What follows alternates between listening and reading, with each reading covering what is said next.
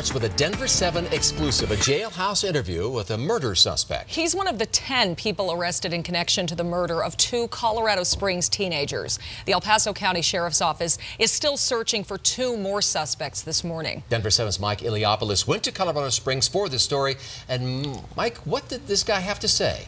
Well, Mitch, we weren't allowed to bring in a camera. All we could take in was a notepad and pen. We spoke by video phone with 18-year-old Joseph Arthur Rodriguez. He told me he had nothing to do with these murders. Flowers and pictures of 15-year-old Derrick Greer and 16-year-old Natalie Partida rest on the side of this rural road.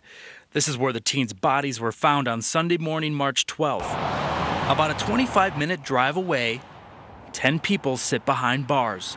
The El Paso County Sheriff's Office filed charges on them. Rodriguez spoke to us.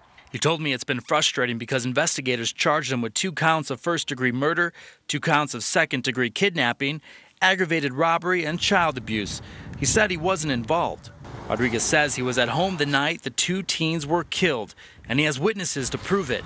He told me he never met the two teens, but he admitted he worked with Partida's sister at this McDonald's in Colorado Springs. He talked about his past involvement in gangs. That's something he wanted to leave behind and start a new life. He says he got his own place and a new job.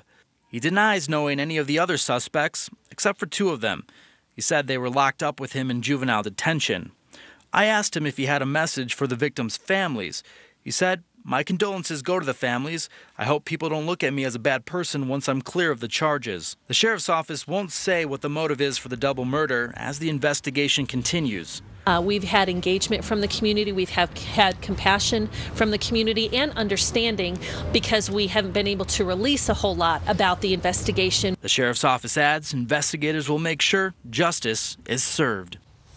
And Rodriguez says he plans to plead not guilty to all his charges. Again, investigators are after two more people in this case, so Mitch, the investigation continues this morning.